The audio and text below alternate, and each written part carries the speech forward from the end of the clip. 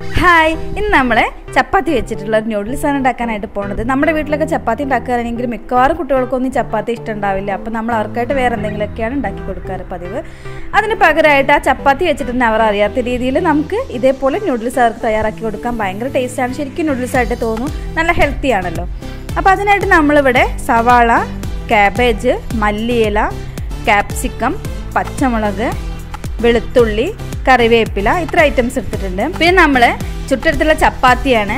അപ്പോൾ ഈ ചപ്പാത്തി നല്ല നൈസായിട്ടും അതുപോലെ നല്ല സോഫ്റ്റുമാണ് ഇങ്ങനെയുള്ള ചപ്പാത്തി എടുക്കുമ്പോൾ നൂഡിൽസ് കുറച്ചുകൂടി ടേസ്റ്റ് ഉണ്ടാവുക. അപ്പോൾ നമ്മൾ ചപ്പാത്തി ഇങ്ങനെ ചുരുട്ടിയെടുത്തതിന് ശേഷം നമുക്ക് ഒരു കട്ടിംഗ് ബോർഡിൽ വെച്ച് ഇങ്ങനെ അരിഞ്ഞെടുത്തിട്ടുള്ളതാണിത്.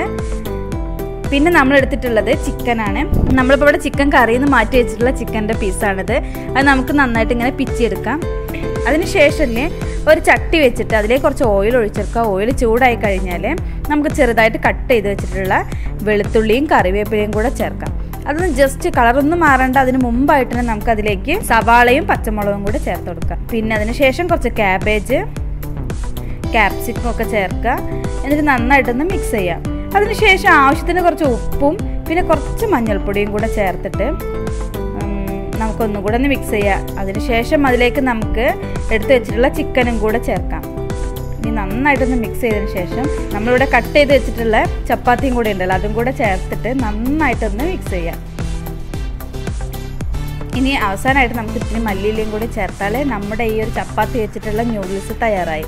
ശരിക്കും നല്ല ടേസ്റ്റ് ആയിരുന്നു. ആ ഒരു ചിക്കൻ എടുക്കുന്ന സമയത്ത് നമുക്ക് അതിൽ നിന്നുള്ള കുറച്ച് ഗ്രേവിയും കൂടെ ഉണ്ടെങ്കിൽ കുറച്ചും കൂടി ടേസ്റ്റ് ആയിരിക്കും ഈ ഒരു നൂഡിൽസ് കഴിക്കാനായിട്ട്. അപ്പം ഞാനത് ചെറുതായിട്ട് അതിന്റെ ഗ്രേവിയും കൂടെ ചേർത്ത് കൊടുത്തിട്ടുണ്ട്. അപ്പോൾ ശരിക്കും അടിപൊളിയാണ്. ഇതിപ്പോൾ നമ്മൾ ചിക്കൻ ഇല്ലെങ്കിൽ നമുക്ക് പച്ചക്കറി വെച്ച് ഇങ്ങനെ ചെയ്യാവുന്നതാണ്. അപ്പോൾ എന്താ പറയുക പിന്നെ ഇതിന് ശ്രദ്ധിക്കേണ്ട ഒരു കാര്യം എന്ന് പറഞ്ഞാൽ നമ്മൾ ഉണ്ടാക്കുന്ന ചപ്പാത്തി നല്ല നൈസും അതുപോലെ തന്നെ നല്ല സോഫ്റ്റ് ആയാൽ കുറച്ചും കൂടെ നന്നായിരിക്കും.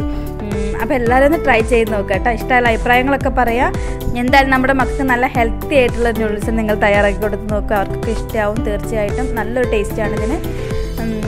നമ്മൾ ചപ്പാത്തിയാണ് കഴിക്കണമെന്ന് നമുക്ക് ഒരിക്കലും ഫീൽ ചെയ്യില്ല അപ്പോൾ എന്തായാലും എല്ലാവരും ഒന്ന് ട്രൈ ചെയ്ത് നോക്കുക ഇഷ്ടമായ അഭിപ്രായങ്ങളൊക്കെ പറയാം കേട്ടോ. അപ്പോൾ നല്ലൊരു അടിപൊളി വിഭവങ്ങളായിട്ട് നമുക്കിനി വീണ്ടും കാണുന്നവരെ എല്ലാവർക്കും ബായ്